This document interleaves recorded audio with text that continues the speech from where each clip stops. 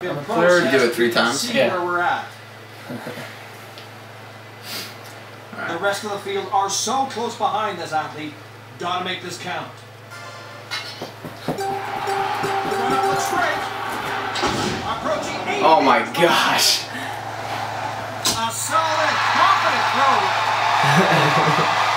Since I got the special. Good speed.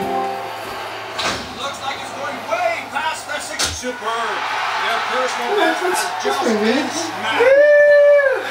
Down to the final throw. Like I want to see that blimp blow This is tense. I don't think you'll hit it. I know. He won't.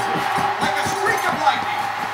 The 70 meter mark and still going strong. Better take off my jewelry for this one. A firm footing and calm nerves is what's needed here. Superb pace. Wow, that's Dang. They have taken the record. you just set the record? Yeah. That's not my personal best.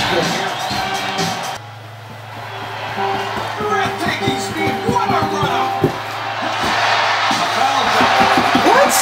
Houston, we have Gosh, that was bad because of you, Dad. Jump.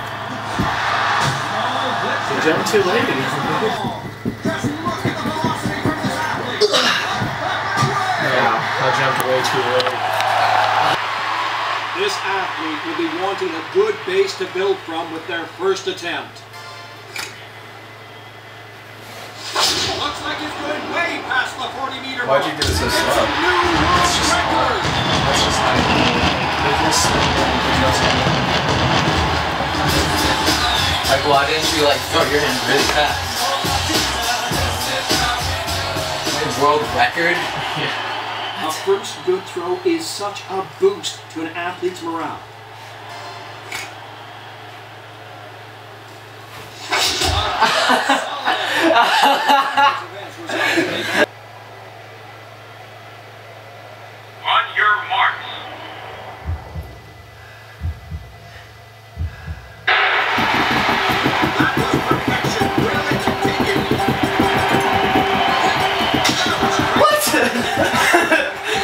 No!